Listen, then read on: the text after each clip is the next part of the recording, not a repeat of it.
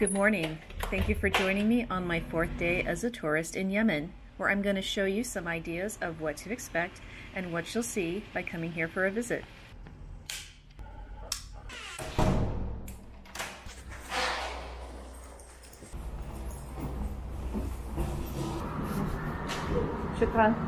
Our breakfast, we had a special addition to the bread and eggs, a mixture of tuna, eggs, and beans with some chili spices.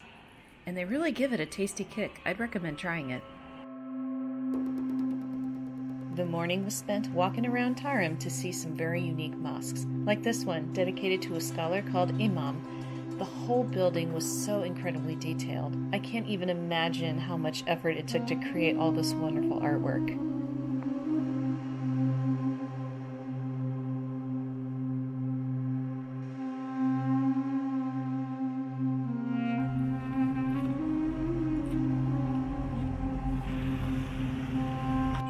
Short walk away was the site of the largest mud-brick minaret in the world.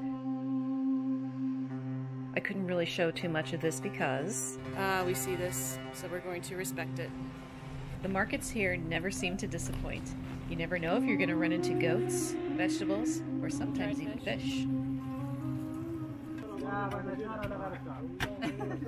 but it's always nice. Shukran. See how much it costs to ship some postcards to the United States.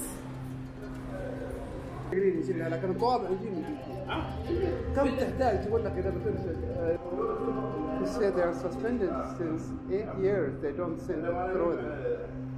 You know? Mail them? No. So for eight years, no postcards? لكن من ثاني العالمية Well, we gave it a try. We are finally in the city of Seiyun. I am so excited to be here. This is one of the main cities that has been pretty stable. And as of right now, the only place that has an operating international airport. But starting later, either this month or next month, Sana'a is going to start running international lines as well because, again, it's a testament to how safe things are getting here in the country and how stable things are. When you see, see trash uh, close to the houses like this, that means they are not the owner. They're just people come from out, like displaced people who came Oh. from Sana'a, from North Yemen. So they live in these houses and they used to drop the garbage like that. For us, we never drop it. The people that live here. So this house is from uh, a native, a local. Three women, they're living here. Oh, okay. Unbeknownst to me, Jamal took me to his house to meet his family and have a quick visit. What a treat to be able to go inside a local's home and see what it's like. Guest room. It's a guest room. Oh, that's fine. Just look at all these little trinkets in here. Well, that was a special treat. I got to go meet Jamal's family, and they were so lovely to bring me in. I met his mother and his wife and his three kids, and some nieces and nephews that are all living there in a very cute little mud house. Actually, I can't say it was a little mud house. There were so many rooms and there were so many floors, and it was very clean and they were very nice. So I had a good time meeting Jamal's family. It is a long drive from Seiyun to Wadi Dawan, so you will get some time to stretch your legs by exploring the residential and market areas of Seiyun.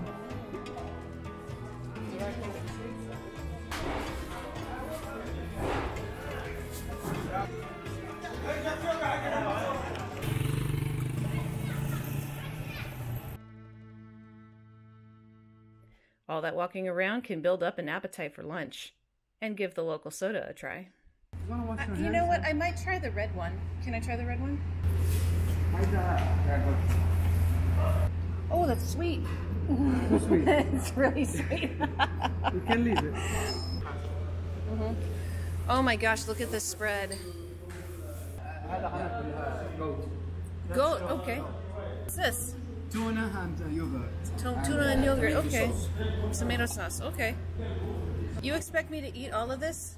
If you're like me and found this to be too much food, you can absolutely ask for child-sized portions so you don't waste foods. I ended up doing that going forward, and it was still more than enough. Now we're visiting a khat market.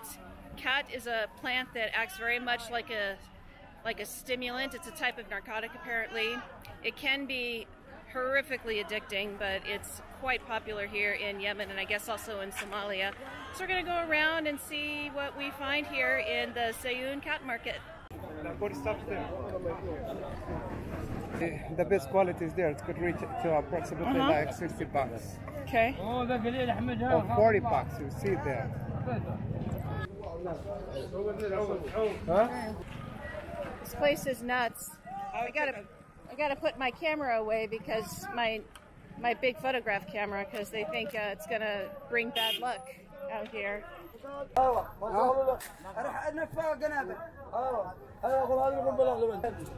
This is a good quality, guys. So what's different between this and the other one we saw? There's another quality, but it said today they did not bring that quality. So this one is the second, the second one. Okay. But it's also good quality. Become here. North Yemen, It was about this point that things started getting tense and very uncomfortable for me. Don't touch me. Stop touching me. We're going to go to a different market because a combination of them having too high prices, a crazy guy trying to throw things at me, and uh, multiple women hitting me to give them money. We're getting out of here. This is probably the first negative experience I've had in Yemen, and it's too bad.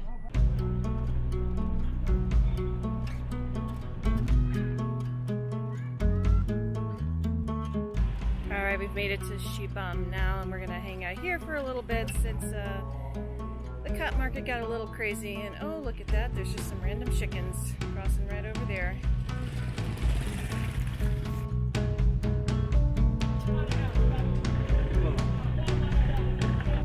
Here comes Saddam again. More than, more, more than 500 years. It's in the past. Stark reminder of what can happen to these mud houses eventually.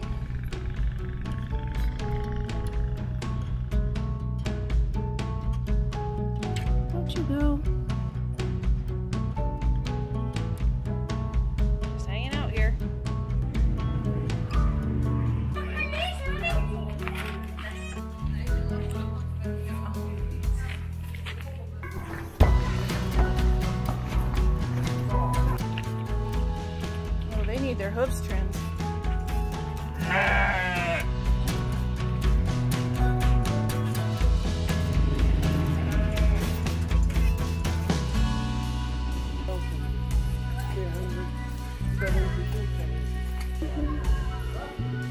Also, this is the Friday prayer.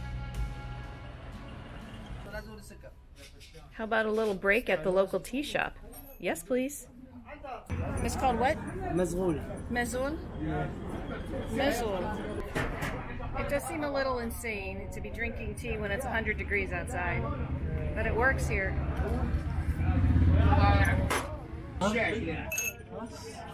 What a great day. Well, after a rather long drive to Wadi Darum, we've finally made it here we did get held up at one of the coalition checkpoints. It took quite a while to get through. I didn't find the process to be stressful, just rather annoying because it did delay us quite a bit. But, you know, you have to try and remember these guys do have a job to do and they are, you know, emerging from a rather strenuous conflict that's gone on for several years. So, we made it here and I've got to show you this uh, hotel room I've got. It starts all the way at the end of this building.